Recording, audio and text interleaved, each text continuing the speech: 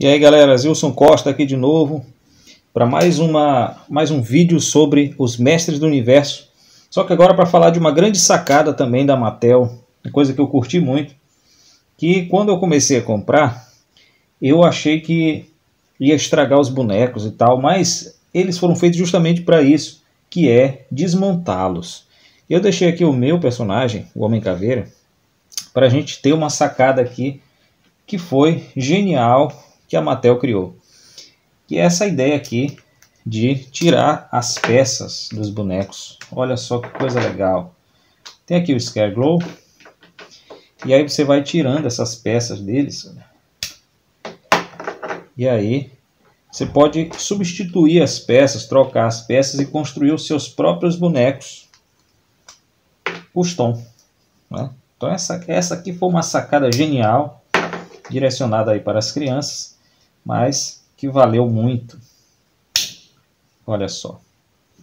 Então, na brincadeira aqui, eu vou construir com os Moltu o meu personagem, o Homem Caveira. Então você vê aí o modelo. Aí eu usei aqui o Principiada, o Scareglow e também o Triclops.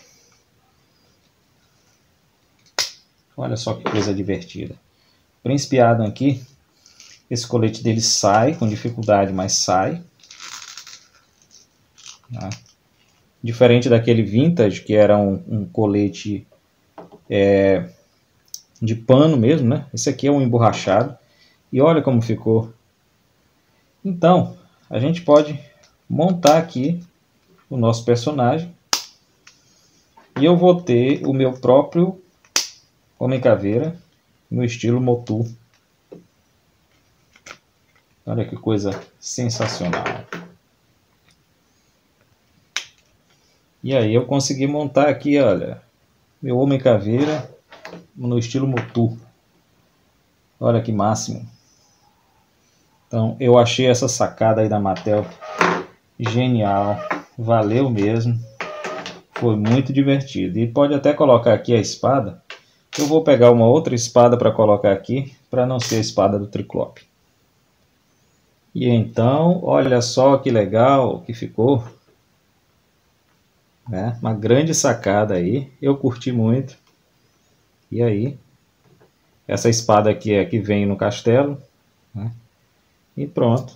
Temos aí o Homem Caveira e o Homem Caveira estilo Motu. Muito massa, curti demais.